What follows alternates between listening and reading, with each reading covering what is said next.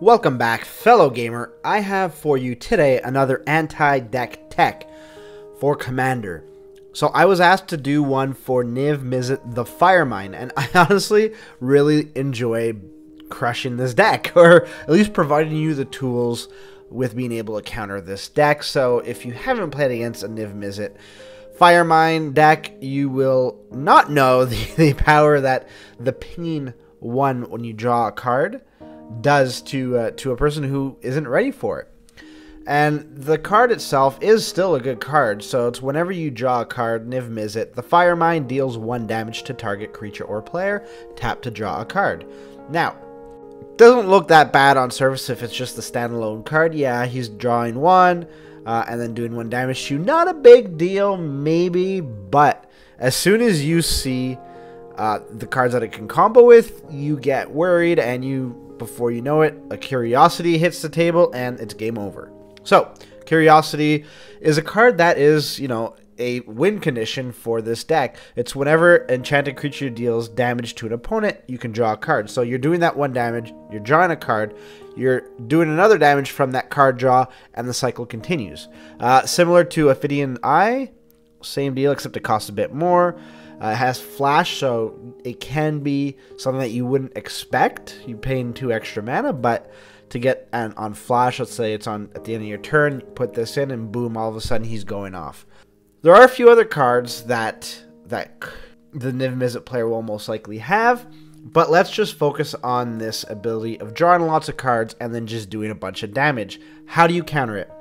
Well, first of all, if it's a combo, you're probably going to want something like Krosan Grip and other cards with Split Second. So Split Second allows uh, for the stack to pretty much remain as is and not be added on furthermore. So, you know, they wouldn't be able to do something in response. So as long as the spell is on the stack, players can't cast spells or activate abilities that aren't mana abilities. You might not be playing green, so it's always good to have a few other choices in colors. So there's Sudden Death, which is also really good at getting rid of Niv Mizzet if he isn't pumped up anyway. So giving the creature minus 4, minus 4 until the end of turn is great, and him not being able to respond to it is even better. But you also have a card like Sudden Spoiling, so it really neuters not only that one creature that he has, but all the creatures. And it really prevents him from going off after the split second wears off. So some people will just be like, okay, you split second me, but you're not really doing anything. So once it's off the stack, I'll just continue on my combo with Niv Mizzet. Here, there is no combo to continue, so that's always a card. That's sudden spoils a card I put in most of my black decks. I, I can think of very few scenarios where I wouldn't want sudden spoiling in a deck. And then there's also just getting rid of Niv Mizzet. So making him cost more so by continuously killing the creature, uh, it's a great way of having the player not being able to play Niv Mizzet. Obviously, he will still or she will still be able to play other cards and maybe draw other cards from other abilities like a Consecrated Sphinx or Mind Over Matter. There is something to be said about denying him the general, which is one of the centerpieces of of the deck is, you know, every time that a player's drawing a card, or sorry, he's drawing the card and doing one damage to you, not having Niv Mizzet out there is perfect, in my opinion. So, Beast Within is a good one. There's Rapid Hybridization. Lignify is good because it keeps Niv Mizzet out on the battlefield, and if he doesn't have uh, enchantment removal, well, it's a 0-4 tree folk. He can certainly kill his own creature in order to be able to cast Niv Mizzet again, but wasting a kill spell on on his own creature is great. But then again, if you also just want to put him into, you know, a vegetative state and turn him into a forest, I know trees aren't vegetables, but I had to, you know, I just had to say it. You can always use this card. There's also Swords to Plowshare, Hero's Downfall, uh, and really a lot more. I, I, can go on. There's like Doomblade and you know Path to Exile and all these other cards that really provide great spot removal. So just getting rid of Niv Mizzet as much as you can is one way of denying him his powerful, powerful ability. Another thing that I also like to use is Grave Pact. So if I'm running a token-based deck and you can easily kill off my one ones by just pinging my my creatures for one, well. You know, he's then going to have to sacrifice his own creatures. And I, if I'm playing tokens, I can be pretty confident insane that I'll have more creatures than my opponent. So it will not be before long that this person runs out of creatures. But what if he starts directing his damage to you? Because ultimately he has to or she has to kill you in order to win the game or wait you out until there's no more cards in your deck or some other alternate win condition. I like to play Urza's Armor. There's not very many instances where I would play Urza's Armor. It's not really a great card. It costs six, but it does prevent Niv Mizzet from doing damage to you and going off. So him doing one damage and you preventing one of that damage just makes it so that you're kind of invincible. You're Boris. But then again, I also would rather have Hexproof on you as a player. So Leyline of Sanctity is a good one. Orbs of Warding is pretty good as well. Combos with Urza's armor and Leyline of Sanctity. So I did say, and not only that, it's it's costed one better than Urza's armor. Kind of, I like to play with something that says Urza on it. So why not? but again, this Orbs of Warding is probably the better selection if you're really going to pick one or the other, and I think it's more readily available, being from Magic Origins. A privileged position allows for your permanents to be protected, so not being able to be targeted through Niv Mizzet's pinging or from any spells that this player would cast. There's also Witchbane Orbs, so as curses become more and more prevalent, because it seems like they're going to start printing them in other sets, not just on the Innistrad uh, setting, you might benefit additionally from just destroying curses attached to you, but it also gives you hexproof. Now, I also like to deny the Niv Mizzet player drawing ability. So a card like Omen Machine, where players can't draw cards, is good. And the second part of this card is at the beginning of each player's draw step, that player exiles a top card of his or her library.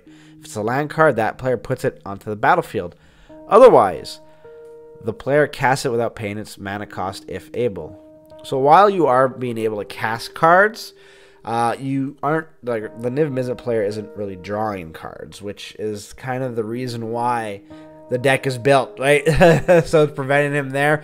Also, Leovold, Emissary of Trest. This is an expensive card, but it's a card that I actually really enjoy playing. Uh, again, I think I'm going to take this moment to say that I don't play with a ban list. I don't remember if he's banned or not in a certain format. Yeah, I think he is banning Commander. Regardless, I don't play with a ban list, so that's why I'm including him on this list.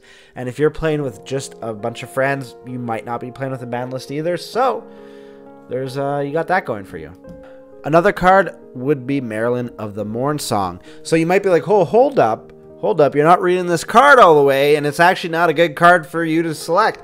Well, let's read that second part. So first of all, first is players can't draw cards. That's great. Second part, at the beginning of each player's draw step, that player loses three life, searches his or her library for a card, and puts it into his or her hand, then shuffles his or her library. Now, yes, they can just tutor up a card that will get rid of whatever negation that you're running. Well, this is a 1 2 combo because you play this card with Stranglehold and you are denying the player cards. Now, yes, Card denial isn't fun, and locking them out isn't really that fun. But this is a person that was going to just draw their whole deck and kill you anyway, so we're preventing the strategy from actually winning. The bonus here is that it's an insane card when you combine Stranglehold and Maralen together. So I'd only play these two cards together. I definitely would play Stranglehold if you're playing red. I don't see a reason not to play Stranglehold. But let's continue. I also like to prevent just the enchantments from getting out onto the battlefield or having a way of dealing with enchantments because with curiosity it can come out and just you know destroy you so aura silence making it cost two more but then being able to sacrifice this card to destroy a target artifact and enchantment is great. Now one thing is that they might be able to combo off beforehand uh, so that's one thing that you need to you need to worry about but making them pay two more for it can disrupt their plans for a bit maybe give you a bit of time. Uh, there's also you know presence of the master which is actually really good because it's whenever a player plays an enchantment spell counter it. So that means that if they play you know their curiosity well it gets countered right away now they would need some sort of counter spell where it can counter a triggered ability so that's one way of getting around presence of the master or just going ahead and destroying the enchantment but I always find that enchantments are, are harder to get rid of because not that many people play enchantment removal. So this might save you. But speaking of counters, it's important to note that you should probably be running a significant amount of counters because Niv Mizzet will be running counters as well. Playing red blue, the players that I've played against that have had Niv Mizzet have stacked up on counter spells. So one thing that you might want to do as well. It also, in a pinch, will allow you to counter a player that's casting Niv Mizzet. But let's get back to that enchantment removal for a second. So let's say you have split second somebody and you've turned their creatures into zero two with sudden spoiling as an example. Well, it doesn't really do much unless you're able to get rid of the either the enchantment or the creature at a later point in the turn. So I always like to remove instant speed enchantment removal. Now, yeah, it is niche and sometimes it will be pretty expensive, but I still feel that it is a good idea to do. So a card like Deicide, which exiles an enchantment, uh, Abolish, Aura Mutation, Golgari Charm, Natural State, and even Quiet Purity. These are all good cards to just get rid of those enchantments at the last second, and it stops the player from playing with that enchantment. So it is something that I do run and I would recommend you running it. Uh, enchantment removal, niche cards I, I generally stray away from, but when it's like a two card combo like this, you need answers and I just want to make sure that my enchantment removal is low cost. I'm not spending a whole lot of mana, and I can keep, you know, one or two mana open to ensure that A, maybe the player won't know, or B, uh, just having that redundancy. So, you know, we can definitely load up our deck with permanent removal and keep it as versatile as possible, but the redundancy of having that enchantment removal is where it comes into play. I would much rather prefer just not having Niv Mizzet out on the battlefield. So my best strategy would still remain creature removal. So whether that's mass or spot, uh, you decide depending on the deck styles that you are encountering. So not just this Niv Mizzet player, but what does the board look like? So there you have it. Those are my big selections for countering a Niv Mizzet deck. So it won't be 100% of the time. And if you're trying to bring this into a competitive setting, you're not really going to win that many games. But if you just want to bolster up your chances of beating that Niv Mizzet player, this is a great video for you. Uh, as always, if you have any suggestions on anti-deck tech videos that you would like to see, please let me know in the comments below. I would love to hear it. In the meantime, you can check out some of my other videos. And if you'd like to subscribe, it not only helps the channel out, but it lets you know when we upload new content and is greatly appreciated. I'd like to thank you for making me a part of your day, and until next time, good gaming.